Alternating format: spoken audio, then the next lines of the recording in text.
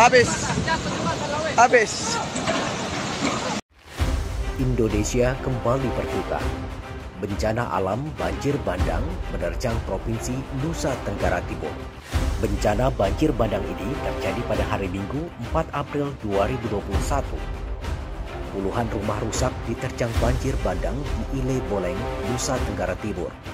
Puluhan rumah di Kecamatan Andora Barat terendam banjir. Puluhan rumah di Kecamatan Ile tertimbun lumpur dan sejumlah rumah hanyut tersapu banjir bandang.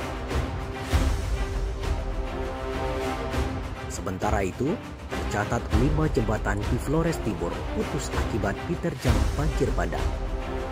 Jembatan lama Kambaniru di Waingapu, Sumba Timur, Nusa Tenggara Timur roboh diterjang banjir. Habis. Habis.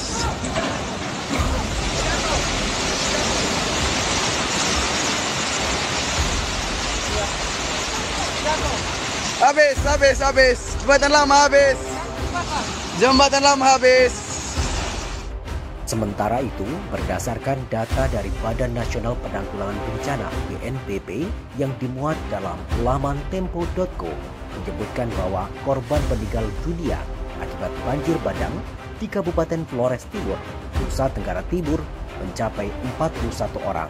Data terakhir tersebut tercatat pada tanggal 4 April 2021 hingga pukul 17.30 waktu Indonesia bagian Barat. Bencana alam di Nusa Tenggara Timur menjadi duka bagi Indonesia.